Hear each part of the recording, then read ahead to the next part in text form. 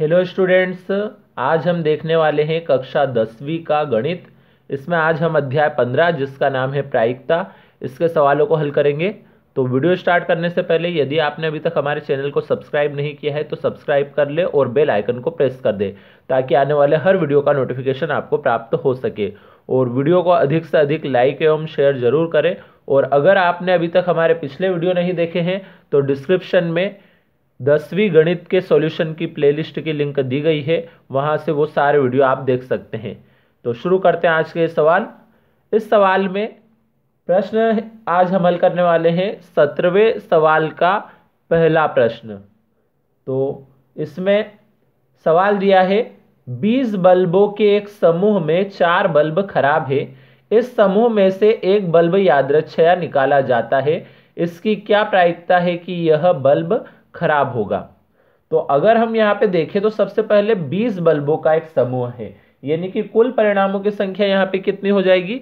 20 तो सबसे पहले हम यहाँ पे लिख लेते हैं, कुल परिणामों की संख्या। कुल परिणामों की संख्या को हम दर्शा देते हैं एन ऑफ़ ई से। तो एन ऑफ़ ई का मान है हमारे पास 20 अब उसमें चार बल्ब खराब है। तो यह बल्ब खराब होगा, उसकी हमें प्रायिकता भी निकालनी है। तो अब प्रायिकता अगर हमें खराब बल्ब की निकालनी है तो पहले हम उसकी घटना को मान लेते हैं। तो यहाँ पे लिख लेते हैं, माना बल्ब खराब होने की घटना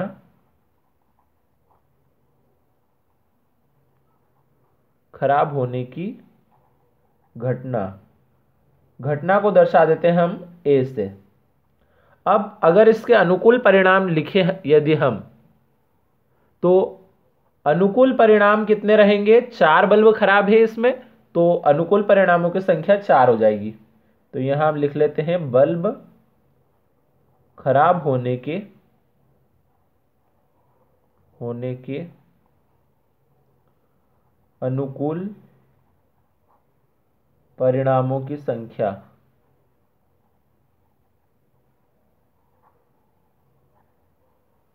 परिणामों की संख्या। इस संख्या को हम दर्शाएँगे एन ऑफ़ ए से। तो खराब बल्ब चार है तो अनुकूल परिणामों की संख्या चार हो गई। अब प्रायिकता का सूत्र लगा देते हैं हम यहाँ पे। तो प्रायिकता बराबर सूत्र होता है अनुकूल परिणामों की संख्या। अनुकूल परिणामों की संख्या बटे कुल परिणामों की संख्या। कुल परिणामों की संख्या। तो ये प्रायिकता का सूत्र है। अब प्रायिकता को यदि हम दर्शाएँ P से, अभी हम निकाल रहे हैं A के लिए। तो P ऑफ़ A बराबर अनुकूल परिणामों की संख्या को किससे दर्शाया था हमने? एन ऑफ़ ए से। और कुल परिणामों की संख्या को किससे दर्शाया था? एन ऑफ़ ई से। अब P ऑफ़ ए को तो हम ऐसे ही लिख देंगे। और बराबर में एन ऑफ़ ए का मान था हमारे पास ये यहाँ पे चार तो इसको चार को रखा और एन ऑफ़ ई का मान था हमारे पास बीस तो ये बीस रखा। तो अब चार एकम चार चार पंजे बीस, यानी कि पी बराबर आया हमारे पी ऑफ़ ए बराबर आया एक बटे पाँच। तो अब हम यहाँ पे इसकी ये प्रायिकता निकल चुकी है तो अब इसका आंसर लिख लेते हैं हम यहाँ पे। तो आंसर में लिखते हैं, अतः निकाला गया बल्ब। खराब होने की प्रायिकता बराबर एक बटे पाँच है। तो ये हमारा यहाँ पे आंसर आ गया। अब चाहे तो आप इसका स्क्रीनशॉट ले सकते हैं यहाँ से।